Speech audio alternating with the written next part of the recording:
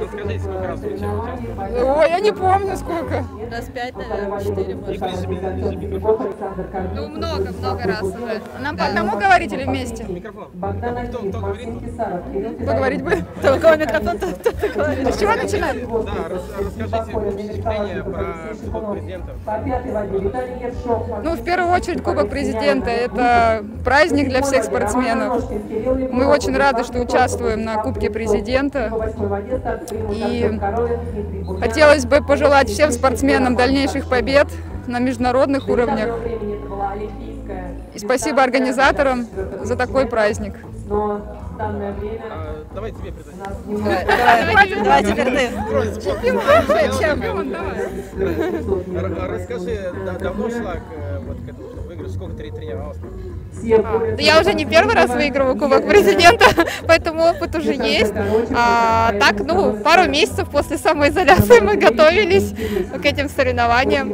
А, еще раз хотим выразить огромную благодарность э, нашей Всероссийской Федерации и вообще организаторам э, этих соревнований. А, Для нас это, конечно, праздник, и еще раз э, такой лишний старт погоняться нам очень приятно.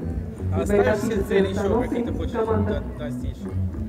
Ну, конечно, целей очень много, и все только сейчас зависит не очень от нас, поэтому мы будем ждать э, даль- дальнейших решений и, конечно, готовиться к дальнейшим победам.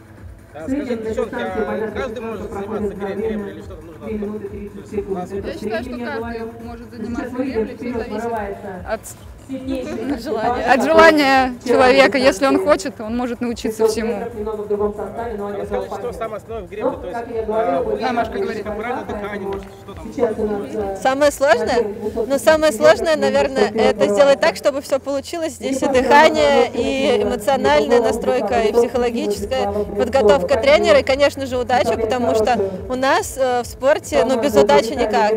Это очень важный момент. Мы делаем все, что от нас зависит, а, а потом просто выкладываемся и смотрим, что у нас получилось. То есть вот важно очень, да, все, все важно. Нет, нет ничего лишнего. Вот бывает, э, типа, вол- волна какая-то пошла, и типа я слышу, что если есть какая-то волна, то есть там э, результат по Кон- поводу волн? Ну, конечно, важно посмотреть, ка- да, есть волны, нет, ветер, зависит от того, на какую ты дорожку попадешь, даже кто рядом с тобой встанет, это тоже влияет, ну, на результат, поэтому очень много факторов. Здесь нужно, чтобы все сложилось. Ну, э. Да, ну, В какой город выступает, или в каком городе живет, или в каком городе или в каком. Да ладно. Я выступаю за Москву, живу в Краснодаре, родилась. Ну ладно, где у тебя тренер, где ты начинала? Да, скажи ты сначала, я Да. А, Греблей начинала заниматься в Волгоградской области, город Волжский, у Панкратова Олега Анатольевича и Панкратова Дмитрия Анатольевича. Я сказала. А, я сама из Саратова выступаю сейчас и за Саратов, и за Москву. А, в Саратове у меня тренер Лукьянов Сергей Васильевич и Панферова Ольга Ивановна, моя первая тренер. А сейчас меня готовит а, в Москве Ефремов Геннадий Михайлович, за что им очень благодарна. Вот, так что тренеров несколько, каждый вносит вклад а, в подготовку. Им всем большое спасибо. Ну, у меня все просто. Я из Архангельска выступаю за Архангельскую область. Первые мои тренеры Серебренникова Марина Евгеньевна и Типков Андрей Евгеньевич. И по сей день с Типковым Андреем Евгеньевичем мы уже 15 лет вместе готовимся.